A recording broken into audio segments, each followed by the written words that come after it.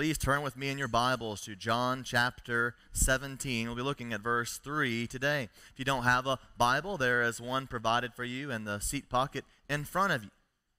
John chapter 17, verse 3.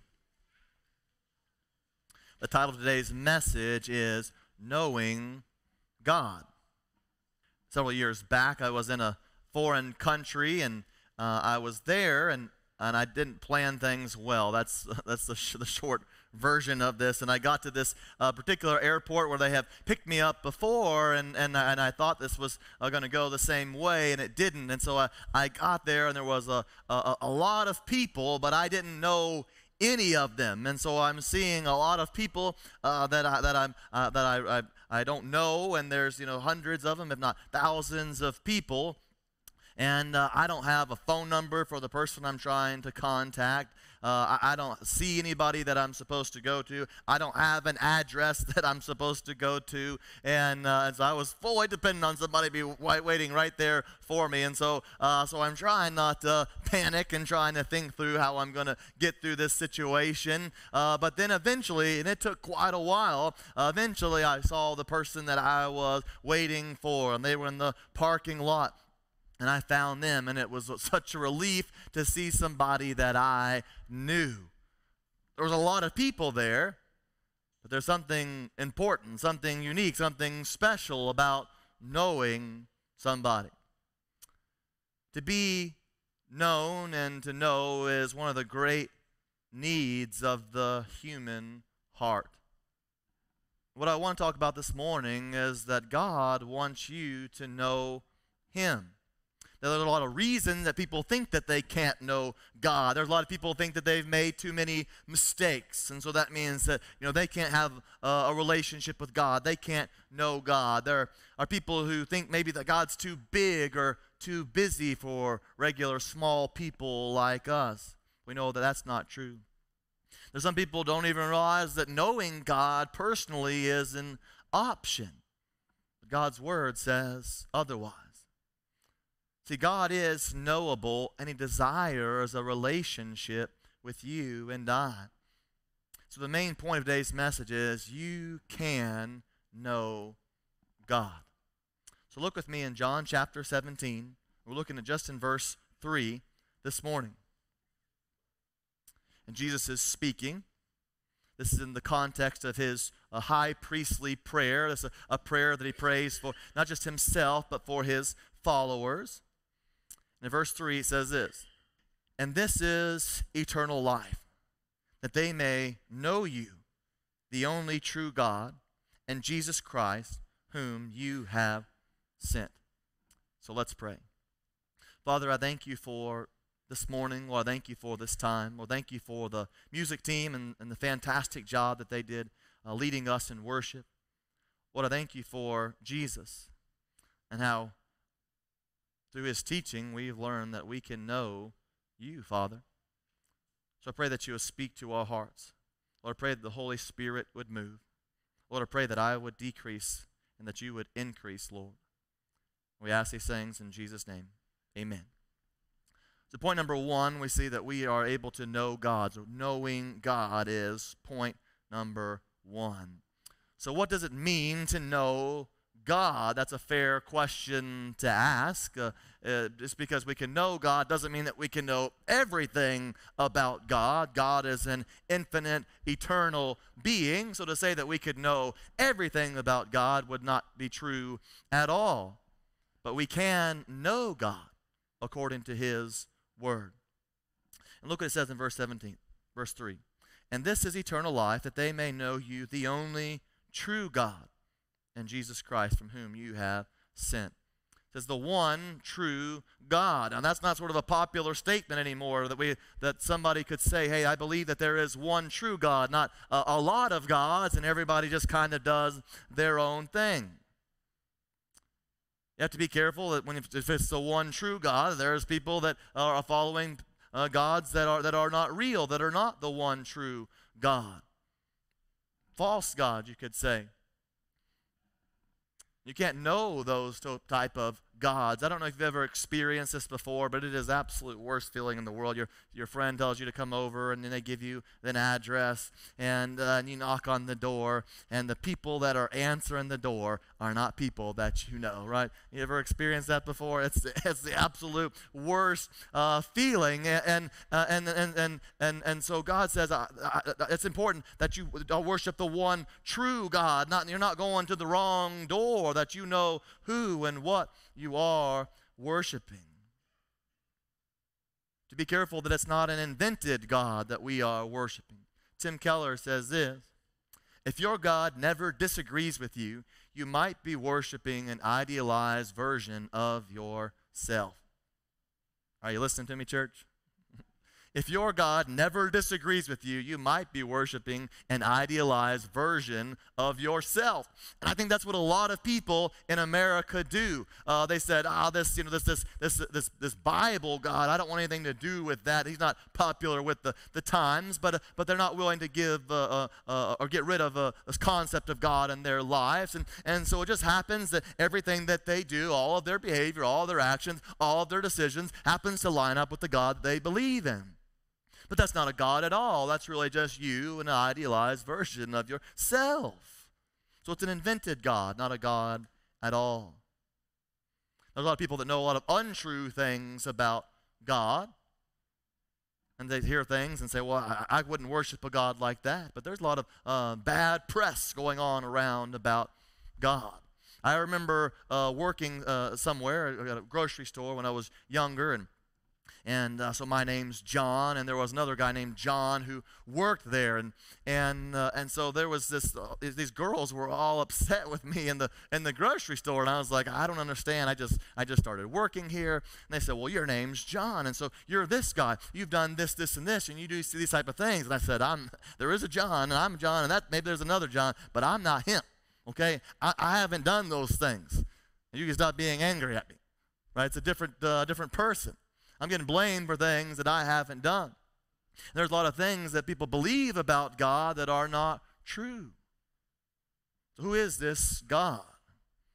So when it says in verse 3, and this is eternal life, that they may know you. What does he mean by that? Well, the idea and, and, and really this sort of particular language to know is really an experiential knowledge. It really means two things in this passage. We see it mean it's experiential and it's continual. So it is an experiential knowledge. So it's not simply knowing about God. It's not simply intellectually, factually knowing about God or things about God, but knowing Him personally, knowing Him relationally is how God wants to uh, relate to you. The Bible says even the demons themselves believe in God, but they are most certainly not followers of God. So you can have a knowledge about God. You can know uh, about God. You can know uh, a great many things about God, but that doesn't mean that you've experienced God. There's many people that are devoutly religious that don't know God. They've done a lot of religious activity, and so they think that that means that, that, they, uh, that they know God somehow or another. And Jesus was, uh, uh, if he was tough with anybody in the scriptures, he was tough with the religious leaders who uh, they, they, they acknowledge God with their lips, but he said, Your heart is far from me. That you have a lot of religious activity, but you do not know God. Uh, many of us have heard of Martin Luther, the, the great historical uh, figure, the uh, reformer. And uh, before he became a Christian, uh, he would be in confession. Uh, he would say sometimes for hours and hours and hours, he would be confessing his sin uh, to a priest uh, because he just felt so guilty. And then he would, uh, he would, he would do something wrong and he'd say, Oh, no, I got to spend more time um, confessing. And so he knew all this religious activity wasn't saving and wasn't bringing his heart closer to the Lord. He hadn't experienced God. He had experienced religion, religious activity, but he didn't know God. Now, we are in the Grand Canyon State, and I'm not going to have anybody raise hands. If you're from Arizona and you haven't been to the Grand Canyon, shame on you. Okay, that's just your own. That's just, you have, you have your opportunity. It's, it's not that far away. Okay, uh, but I would recommend getting there, even if you haven't been there uh, very long. Now, you can know a lot of things about the Grand Canyon, factually so, right? Intellectually so. You can know a lot of things about the Grand Canyon. And, many people in our country and outside this country uh, know a lot about it. Um, you can study it in geology textbooks and say, oh, this is a, a unique pattern that is only there, and, and it's got these particular type of little critters that live there, and the Colorado uh, runs through it. And, and so you can know a lot of things about it. But it's a whole different uh, experience to go to the Grand Canyon. And you sit there as a very small person, and you're looking at the vastness of uh, this landscape, and, it, and it's all inspiring. There's something different about uh, knowing intellectually about the Grand Canyon and experiencing um, this uh, magnificent uh, place on planet Earth. The same is true about God. There's a lot of people that know a lot of things about God. Maybe you went to a, a Christian or a Catholic school, maybe you know a lot about God. But the question is, do you know God? Asking you know a lot about Him. God says that you can know Him. So you see, first of all, this type of knowledge is experiential. It's not simply head knowledge, it is heart experience with a holy God. We see it's also continual. It's in this is eternal life that they may know you. This is a type of verb that is in this passage. Know is a continual process. Points to a continual personal experience. So this isn't a camp middle school relationship where uh, by the beginning of the day you had a girlfriend and by the end of the day you do not right? That's uh, uh, that, that, that, can happen in uh, and, and, it's not a continual uh, relationship. And, and, and but, but when it comes to god that is the case. It is an ongoing relationship that you can have with him one of the challenges this is in our lives, we've experienced loving relationships that have ended. There are people that have had a loving relationship with spouses and, and it ended in a, in, in a broken hearted divorce and it brought all sorts of, of pain. So they knew love for a while with that relationship, but then it ended. Maybe they loved the spouse and, and they lost them in, in death, as many have experienced. So many of us know love, but sometimes that love ends at least in one sense, here on earth. When I met my wife, uh, we were doing ministry, we were doing uh, church planting stuff in upstate New York. And at the time, I lived in Florida, and my wife lived in Arizona. And here I am and uh, so you already know where the story's going, right? So, uh, so, uh, so we we lived in Arizona, and and uh, she lived in Arizona, and uh, you know, and so we got to talking that summer, you know, how things go, and and uh, and and at, by the end of the summer, I said, hey, this is something special. This is something that we want to pursue. But I also had a roommate with me in college, or, and uh, he went up with us in, in, in New York as well. And I remember him telling me on more than one occasion, he said, he said, John, he said Arizona's a long ways away. and, and it was true. From New York or from Florida, uh, Arizona was a long ways away. But sort of his assumption was hey, man, don't get too invested in a relationship that's not going anywhere, that won't last for a long time. You're just going to be done with it in the summer. It's not a continual relationship. Well, I'm thankful to say it's been 13 years and he's been wrong up to this point. Yeah, sure. Okay, yeah, that's fine. Uh, but this is the type of relationship, this is the type of love, this is the type of, of knowing that God's talking about in this passage. It's not just intellectual, it's experiential. And it's not for a limited time offer, it is continual in His love for you. See, John 10 37 says, My sheep, this is Jesus speaking, says, My sheep hear my voice, and I know them, and they follow me. He said, I want to have a close relationship with you, like a sheep knows his shepherd. And when the shepherd speaks, his sheep recognize his voice, and they follow and they know him. That's the type of intimate relationship that God wants with his children. And you can have it if you'll do it his way. So that's point number one is knowing God. Point number two is knowing God through Christ Jesus. And so we really see the how of this passage. So we say, okay, uh, God wants us to know Him, He wants us to experience Him. But so, how do we go about doing that? Well, let's read verse 3 one more time. So, this is eternal life, that they may know you, the only true God, and Jesus Christ, whom you have sent. So he talks about eternal life in this passage. A people have been uh, seeking to live forever as long as people have lived. They've looked for the fountain of youth and, and, uh, and, and a variety of other places. But What does the Bible mean when it says eternal life? Does it simply mean endless existence that you and I will just go on and on and on? We've all, or I wouldn't say that we've all, but most of us have seen the movie Groundhog's Day, right? And it's just a guy with the same, with a just endless existence every day. The premise of the movie is, is the guy wakes up and it's the same day, and it happens to be Groundhog's Day. And no matter what he does, he's practicing the piano, he's doing this, he's doing that, and, and, and all, and he's doing all these things, but it's still the same day. It's just endless, depressing existence.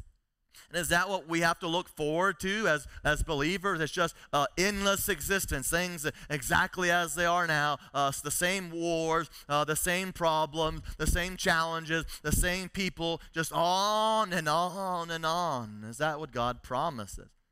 The answer is absolutely not. See, the Bible says that all people will exist somewhere. The question is, in what condition?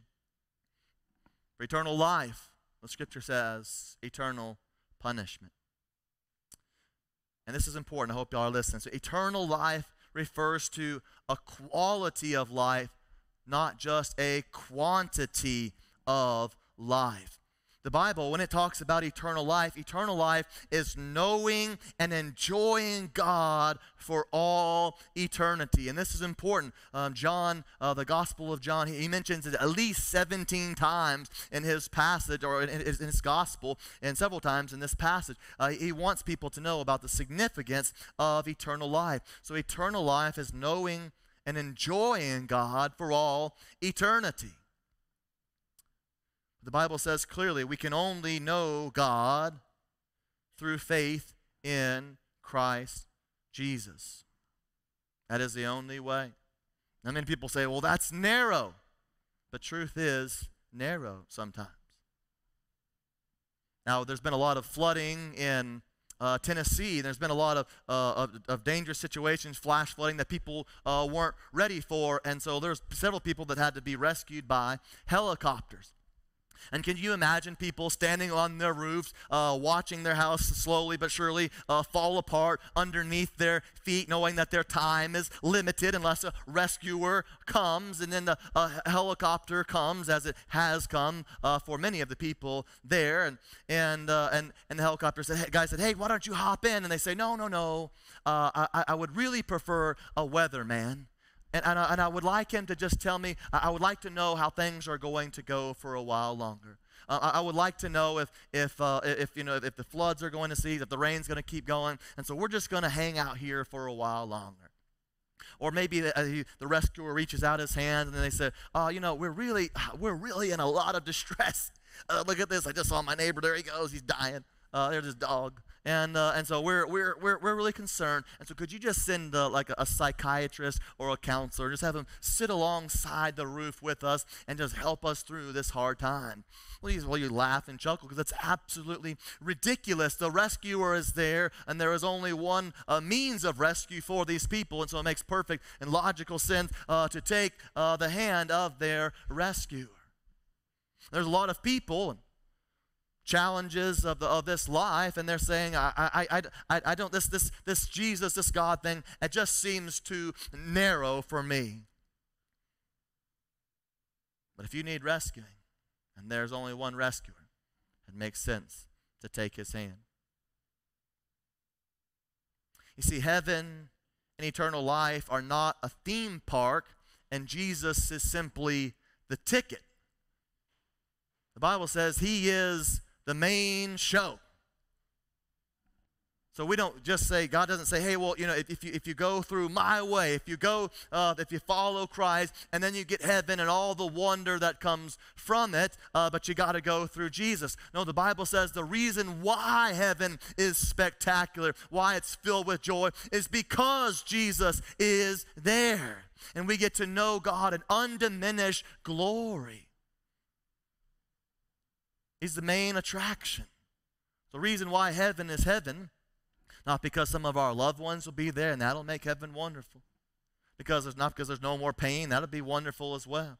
But the Bible says heaven's heaven is because that's where God is at. That's where you get to experience in Him in all of His fullness and all of His glory.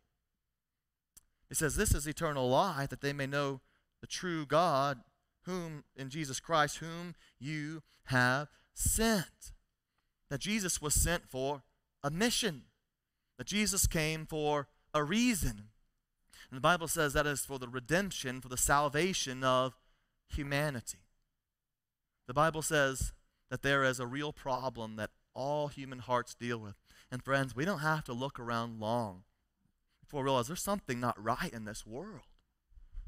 The people don't treat each other right. There's, uh, there's, there's, there's, there's heartache. There's brokenness in our own families, in our own lives. There's pain, there's sorrow, sickness, and disease. There's, th- th- something's not, not right here. We have to have laws to keep us from hurting one another. That's not the way that God designed it. We all have this gigantic problem called sin.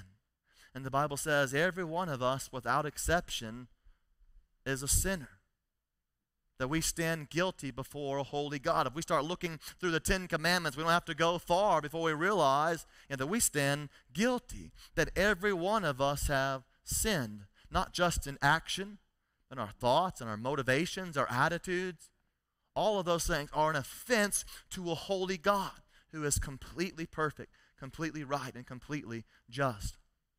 And the same God who is our judge as well as our God he can't just sweep wrongdoing under the rug and pretend it doesn't exist.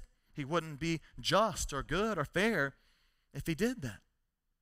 So the same God who is just and our judge sent Jesus Christ. Sent Jesus Christ. And the Bible says that he lived on this earth 33 years. Perfect. Never sinned one time.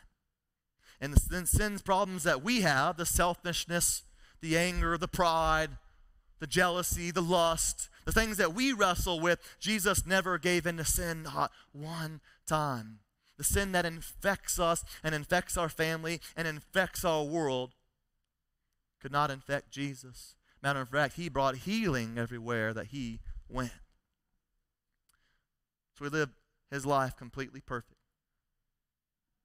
the same God, the same Jesus that was completely perfect, the Bible says he died on the cross for our sins. Not for his sin, mind you, for our sin. That the wrath of God was poured out on Jesus for your sin, for your wrongdoing, and for my wrongdoing. And Jesus came and he died in our place so that we don't have to be punished for our sins eternally because we've offended an eternal being. So Jesus died and he rose from the dead, conquering sin and conquering death. That's why Jesus came. That's why he was sent to redeem and save humanity.